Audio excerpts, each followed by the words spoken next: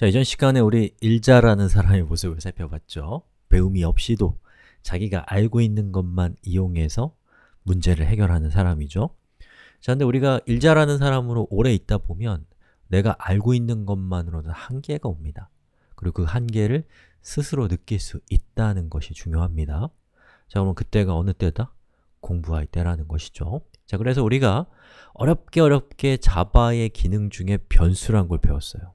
그리고 이 변수라고 하는 것을 우리가 만들고 있는 애플리케이션에 도입해 봐야겠다 라는 마음까지 먹은 상태이신 거예요. 누가요? 여러분이요. 제가 아니라. 아셨죠? 음. 자, 그럼 우리 변수를 한번 도입해 봅시다. 자, 여기 보면은 여기 있는 이 값 있죠? 저 값은 음, 공급가인데 데이터 타입은 더블형이에요. 그래서 저는 더블 데이터 타입의 변수명은 value of supply라는 이름으로 저 값을 이렇게 줬습니다. 자 그러면 여기 있는 이 값은 이제 뭘로 바꾸면 돼요?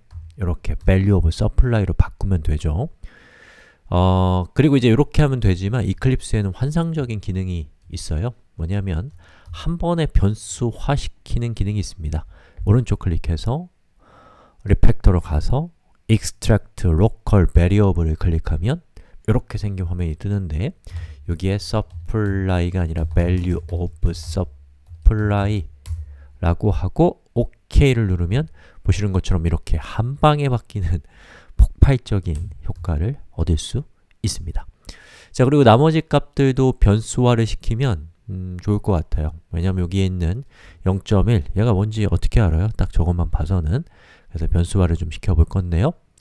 어, 여기 있는 0.1은 자, 다시 refactor로 들어가서 local variable로 바꿀 건데 이제부터는 단축키를 익혀보세요. 전 단축키를 쓸 거예요.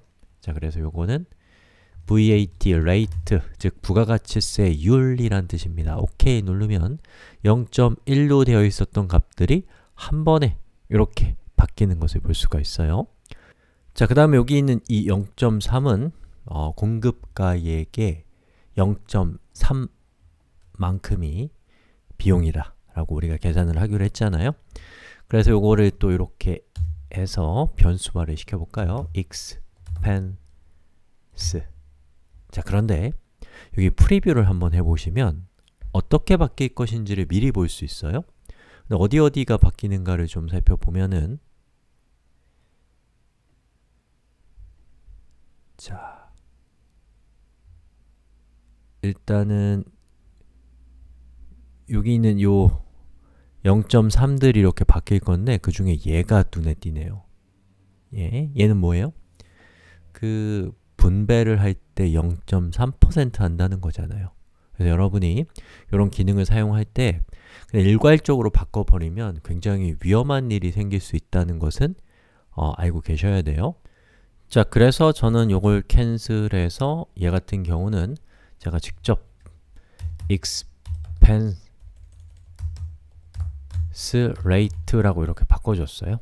그럼 이제 에러가 뜨죠? 왜 에러가 떠요? 저런 변수 없는데요? 라는 뜻이에요. 자, 이렇게 마우스를 올려보면 신통하게 create local variable expense rate라고 되어 있습니다. 클릭하면 보시는 것처럼 이렇게 만들어져요. 완전 대박 기능이죠. 자, 그리고 여기다가 이제 0.3이라고 하게 되면 아까와 코드는 똑같지만 여기에 있었던 값이 뭔지를 분명하게 변수를 통해서 우리가 어, 이름을 부여한 거죠. 그리고 또 어디도 바꿔야 돼요? 여기도 이제 똑같이 expense로 이렇게 바꿔줘야겠죠. 음. 자, 이렇게 하는 겁니다. 자, 그래서 위에 있는 값들은 위쪽으로 제가 모아놓을게요. 그래야지 보기가 좋죠. 그, 자, 그 다음에 자, 여기 있는 이 값도 우리가 변수로 바꿀 수 있어요. 어떻게 해요? 자, 요만큼을 이렇게 선택해서 역시나 extract local variable을 통해서 저 값이 vat다 라고 이렇게 알려주는 거죠. 음.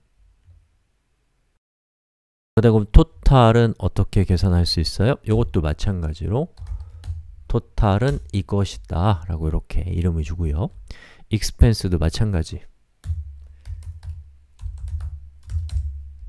이렇게 income도 마찬가지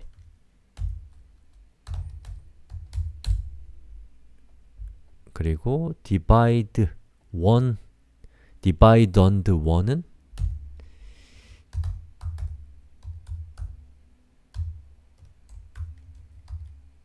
이렇게 해서 리플레이스 시켜버리고요. 자 그리고 이것도 마찬가지로 2로 바꾸고 이것 3으로 이렇게 바꾼 다음에 여기에 있는 이 변수들은 위로 다 올려줍시다.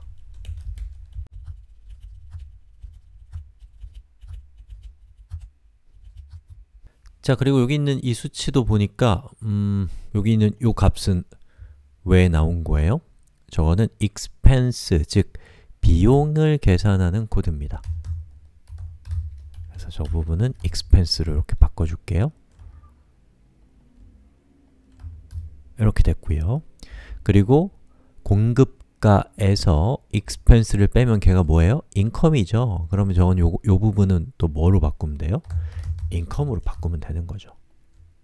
어때요? 이전에 우리가 짰던 코드보다 훨씬 더 보기 좋은 코드가 됐죠? 음, 각각의 어떠한 데이터들이 어떤 의미를 갖는지를 우리가 변수를 통해서 이름을 붙여줬다 라는 것에 주목을 하시고요. 그 다음에 이제 우리가 이 우리가 계산하는 값을 바꾸고 싶을 때는 예전에는 막 부산하게 예, 바꿔야 됐고 막 강제로 바꾸다 보면은 바뀌면 안 되는 것까지만 바뀌고 그랬거든요. 근데 이제 변수를 도입하니까 어떤 폭발적 효과가 생겨요?